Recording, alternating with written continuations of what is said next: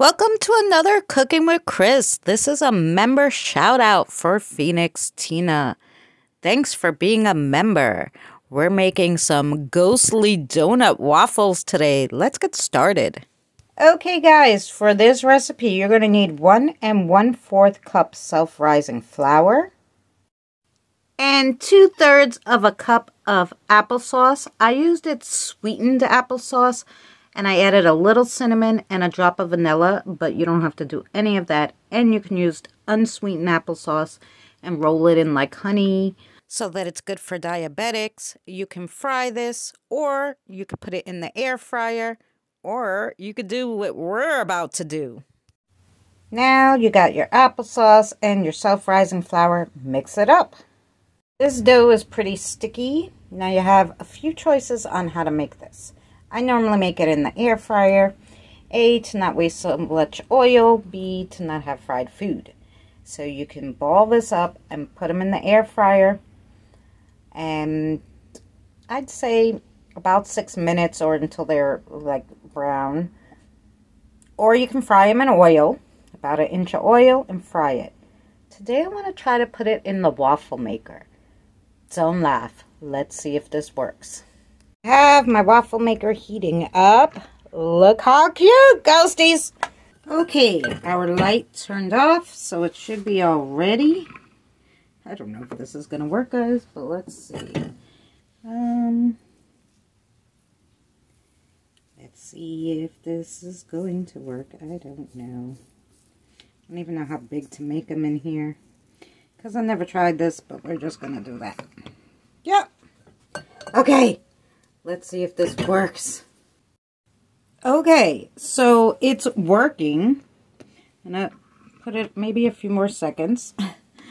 And then we're going to have ghosty donuts. Ghosty waffle donuts. Ah, this is going to be so fun. Unfortunately, this is only a one-man recipe. If we make another batch, yeah, then we can have more. So yeah, I'd probably make two batches if I'm going to put it in here. If I'm going to make little donut holes, this is the perfect size because you'd probably get around, you know, I don't know, 10. But in here, you're getting less. So, yeah, but I'm sure it's ready. And it's a ghosty. Okay, let's try another one. This is so much fun. Okay, not as much I don't think we need. I don't know how much I put last time. But it does, um, it's self-rising flour, guys, so it does rise. So let's see. I don't know. I'm just using this scooper.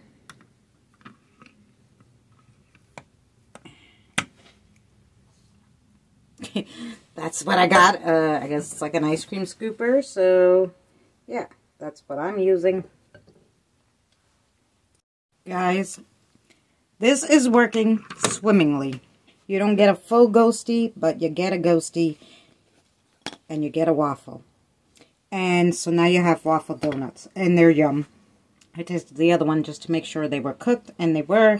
And then I'm just putting my, ready? Blackberry pancake syrup on there. And it is so yum. Now, I know what you're going to ask me, guys. Where did I get this super cute little thing? Target. It was $10 during Halloween. Um, and they have snowflakes, and they have, every holiday they have these. When I got this one, it was $10. How much they are now, I don't know, but they can't be too much more. Especially probably if you get it after the season. Um, or the holiday, it'd be cheaper. It takes a good few minutes, about four minutes for them to be ready in here. Four to five minutes, depending how much you put.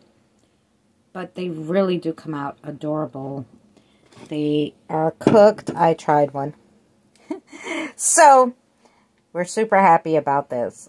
I'm going to go make more. And we'll see you on the next adventure. Big shout out again to all our members and to all you guys watching. Thanks for watching. And if you're not subscribed, consider subscribing.